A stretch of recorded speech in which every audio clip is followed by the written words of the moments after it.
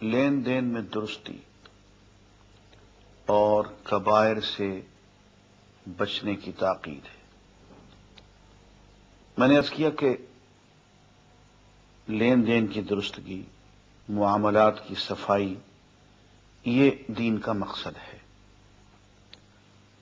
اور کبائر، کبیرہ گناہ، ان سے بچنا مومن کی شان ہے۔ کبیرہ گناہ وہ ہیں جن میں ایک تو حد نافذ ہوتی ہو یا ان پہ اللہ کی طرف سے لانت عائد ہوتی ہو یا جہنم کی وعید ہو۔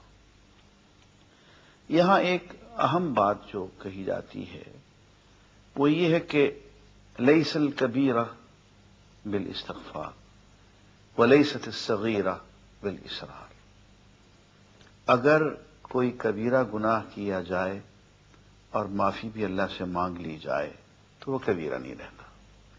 اور کوئی صغیرہ گناہ کیا جائے، چھوٹا، لیکن اس میں اصرار ہو جائے اور وہ عادت بن جائے تو وہ صغیرہ نہیں رہتا، بلکہ وہ کبیرہ بن جاتا ہے۔ اور اس سلسلے میں ایک بزرگ کا قول مجھے بہت پسند آیا کہ صغیرہ اور کبیرہ کے چکر میں کیا پڑھتے ہو، یہ مت دیکھو کہ کیسی نافرمانی کی ہے؟ چھوٹی نافرمانی کی ہے یا بڑی نافرمانی کی ہے؟ یہ دیکھو، نافرمانی کس کی کی ہے؟